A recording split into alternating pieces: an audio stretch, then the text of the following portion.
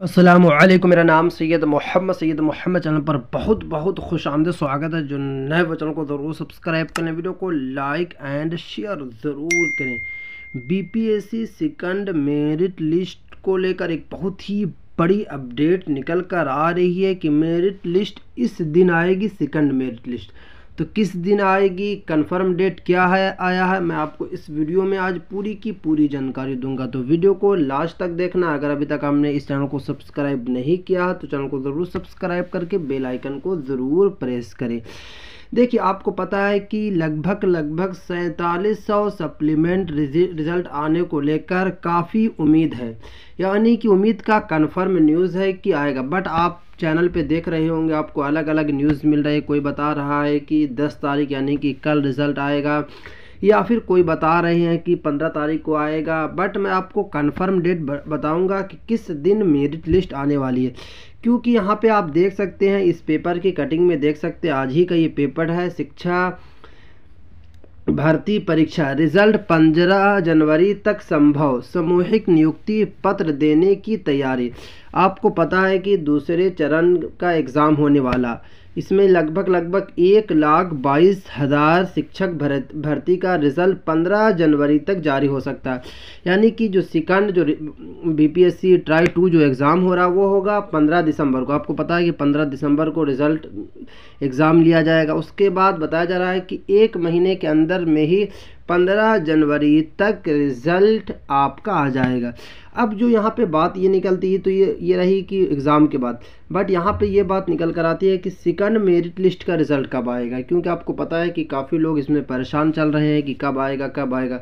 तो देखिए, अंदर के सूत्रों के मुताबिक ये अपडेट निकल कर आ रही है कि अभी कम से कम एक हफ़्ता और लगेगा। जो बता रहे हैं आपको कि दो दिन, चार दिन में रिज़ल्ट आ जाएगा, वैसा कुछ नहीं होने वाला।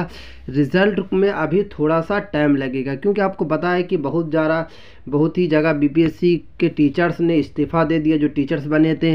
यानी कि मामला अभी काफ़ी गंभीर चल रहा, पूरे बिहार में गंभीरता से देखा भी जा रहा और मामला चल रहा इसलिए कोई ऐसा कदम नहीं उठाने वाली है सरकार कि। आपका दो दिन, चार दिन के अंदर में रिज़ल्ट आ जाएगा सेकंड मेरिट लिस्ट। अभी काफ़ी टाइम लगेगा, जो भी बता रहे हैं लोग कि इस दिन आएगा, इस दिन आएगा, बिल्कुल वो फेक बता रहे हैं।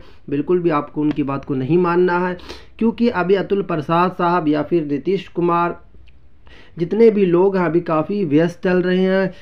एग्ज़ाम को लेकर, क्योंकि जो आपको पता है कि जो बहाली को लेकर बिज़ी चल रहे हैं बट मेरिट लिस्ट कंफर्म है कि डेट आएगा, आप कम से कम पंद्रह जनवरी तक आपको वेट करना पड़ेगा, उसके बाद ही रिज़ल्ट आएगा। दो दिन, चार दिन में कोई भी रिज़ल्ट नहीं आने वाला।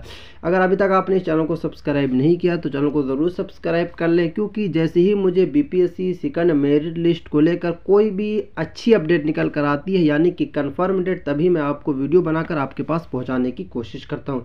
क्योंकि आपको पता है कि सुबह से लेके शाम तक अलग अलग न्यूज़ निकल कर आ रही है कि इस दिन आएगा, इस दिन आएगा, बीस हज़ार रिज़ल्ट आएगा, कोई बता रहा है कि तीस रिज़ल्ट आएगा। वैसा कोई भी रिज़ल्ट नहीं आने वाला, बहुत ही कम मात्रा में रिज़ल्ट को जारी किया जाएगा सिंगल मेरिट लिस्ट जिनका एक नंबर या फिर दो नंबर इस तरीके से कट ऑफ़ रह गया, उनका ही सिर्फ़ और सिर्फ़ नाम आएगा। उसमें जो भी आ जाए जनरल आ जाए A B E W S आ जाए, या फिर एस एस कोई भी कास्ट के आ जाए सभी का रिज़ल्ट आएगा बट बहुत ही कम मात्रा में रिज़ल्ट को जारी किया जाएगा। कोई भी ज़्यादा रिज़ल्ट जारी होने वाला बिल्कुल भी नहीं है, क्योंकि अतुल प्रसाद साहब ने खुद पहले ही बता दिया था कि जिनका एक नंबर शायद रह गया, उनका ही रिज़ल्ट को जारी किया जाएगा, या फिर आपको पता है कि एज को लेकर भी किसी का रिज़ल्ट जो पेंडिंग में था या फिर नहीं आ पाया था, उनका भी रिज़ल्ट को जारी किया जाएगा। जैसे ही मुझे कोई भी न्यूज़ निकल कर आती है सेकंड मेरिट लिस्ट को लेकर तो मैं आपका सबसे पहले वीडियो बनाकर पहुँचाने की कोशिश करूँगा। जब तक के लिए आप इस चैनल को ज़रूर सब्सक्राइब करके बेलाइकन को ज़रूर प्रेस करिए। आज की वीडियो असल